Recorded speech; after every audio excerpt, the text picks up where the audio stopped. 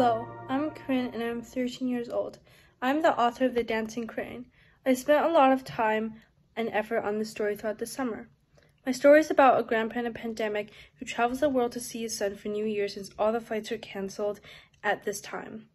My inspiration of the story is because during the pandemic I couldn't see my grandparents for so long, and that made me think of this story. Thank you for listening.